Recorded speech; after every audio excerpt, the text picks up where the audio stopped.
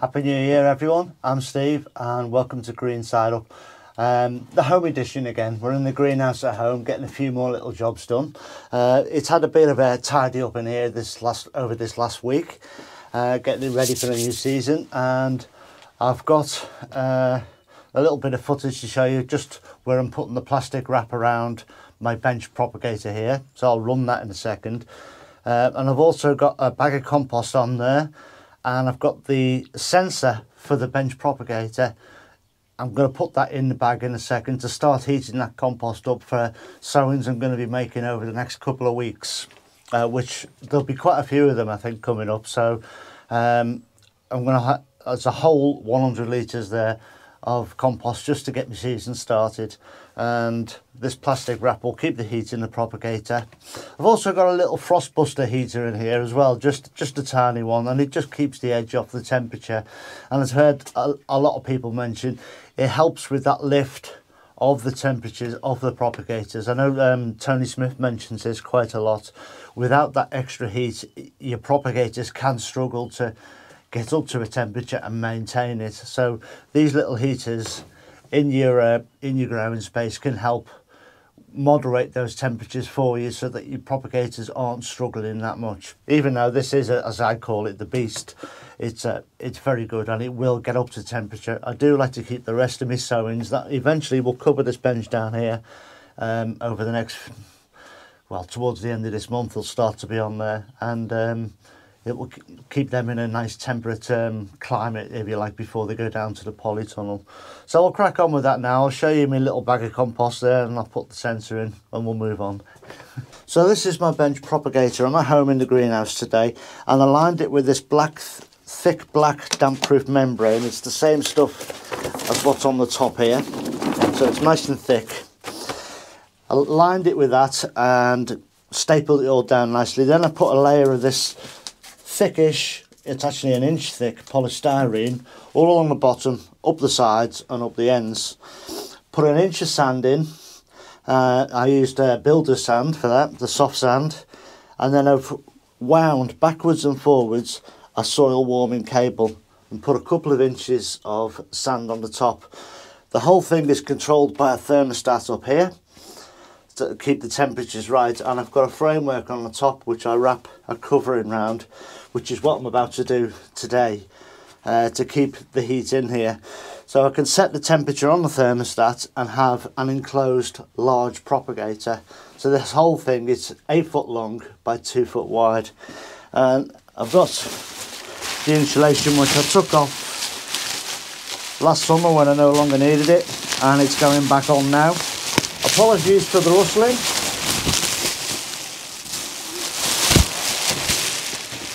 But this simply just goes over the top.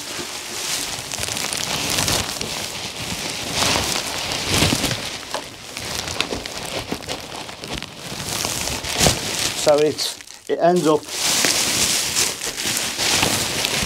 it will be wrapped down the back and then there'll be a flap left at the front which I can just open to access it. It's fairly simple stuff.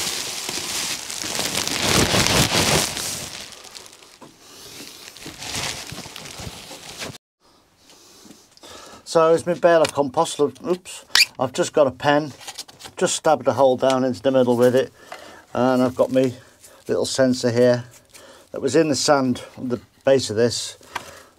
Just going to feed that down into the compost bag, and that will now mean that the bench underneath will get hot enough to heat this as well. And when I've got a final wrap of plastic around the top of this propagator because I've got another roll of this stuff, this bubble wrap in the loft and it's a special greenhouse one that I bought a couple of years ago. It's a double layer, double thick layer and I'll, I'll get some more out and finish this off and then this will heat up in a couple of days so that's all good.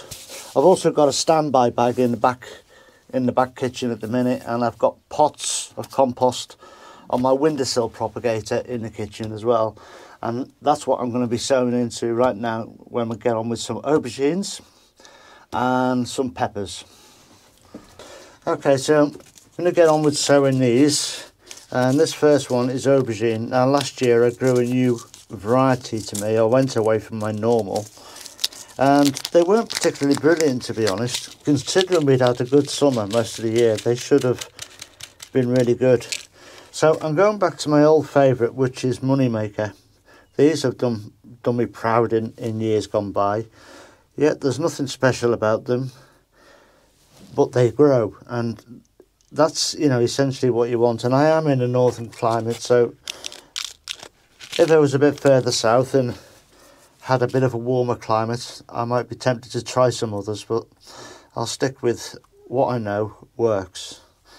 And unfortunately, I can't remember what variety I grew last year, but it was last year I sowed peppers and aubergines and launched green side up on the 19th of January, and so I'm going to sow sow these a couple of weeks earlier because um, I want to give them that bit longer and a bit of a more of a chance to grow better, uh, grow fruit and ripen.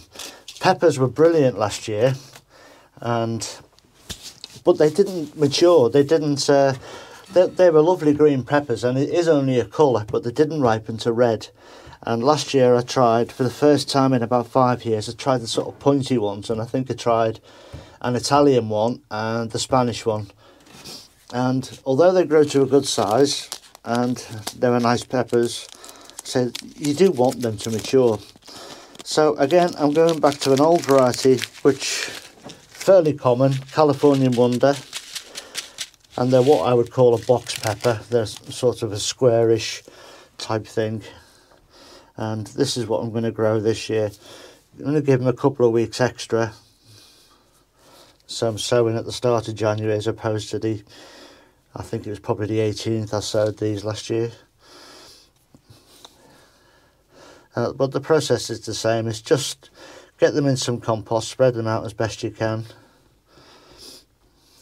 And then, incidentally, these little compost trays that I've got here, they've been on a propagator all night in the kitchen. It's just a gentle heat propagator, not thermo it's not thermostatically controlled. It hasn't got a temperature that you can set, just a gentle bottom heat. And it's just warmed them up enough for sowing. And then these will go back on that propagator on the windowsill and they'll, they'll come through in a couple of weeks. And incidentally, this soil I'm putting on top, this compost, that's also been on the propagator all night as well. So it's warm to the touch, noticeably so right now as well as it's so cold out. So they're sown. I'll go and put them on the propagator, put the lids on them. If I can find them, I don't know. I yeah, I think they are in here.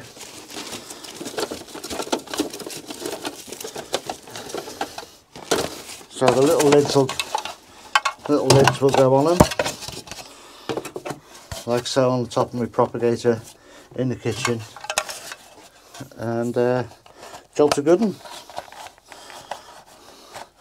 Incidentally, They've got these things on the top to let air in. Keep them closed for now until you see them coming through and then open them up. Again, nothing difficult, but they are long season plants. Uh, they do need that warmth. And eventually they'll come out of the kitchen, be potted on, and they'll go in the beast propagator behind me. So that's them sown. Two more down, 300 to go. Right, so that's a, a few more jobs done the, with the, the, greenhouse cleaned out, the bench ready set up. Uh, need to get some more of this plastic bubble wrap to go on this propagator out the loft, but that I'll do that tomorrow when I'm, all the Christmas decorations go back up there. Um, I've got a bag of compost out there heating up as we speak with a sensor in to control the temperature and that one in the kitchen. So I'm good for getting sowing um, over this next month. And I say there is quite a bit of sowing. A lot of it is flowers, some veg, and, and a few herbs. So we'll get cracking on that as well. But the season all starts early for me, chiefly because I've got so much to get going. I've got such a big plot and I want to fill it as much as possible and have as much choice and variety as possible. So I do need to get going and probably a lot earlier than most people would. Uh, and that's why I do it. And I've learned over the years how to look after plants um, once they've come out of this warm warm space here in my greenhouse and it's not very warm you can see I've still got a thick jacket on but I've got a frost beater uh, heater in here just to keep the chill off it to stop things freezing solid. And I've got the bench propagator here uh, which I wrap in plastic to keep my plants toasty warm in here. And then when they go from here down to the allotment they'll go into one of my hot boxes in the polytunnel. So I have those many will many of you will have seen them through last season I've got these great big boxes which are wrapped in polytunnel plastic to make a greenhouse inside my polytunnel this is a massive help and it it just it makes that staging from up here where plants are protected down to the polytunnel where they can be protected a bit more and then eventually they'll come out of the boxes and acclimatise and eventually go out into cold frames and then into the garden. So it's a, a continual process. But anyway, that's it for now. Um, Happy New Year again to you all. If you've got a headache, your fault, not mine. Sorry for shouting. I've probably just given you more of a headache. But um, yeah, Happy New Year to you. Please stay safe, everyone, and I'll see you in a couple of days. Take care now. Bye bye.